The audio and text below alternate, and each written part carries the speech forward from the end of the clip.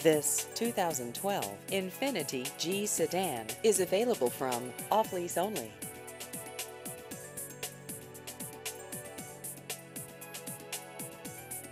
This vehicle has just over 5,000 miles.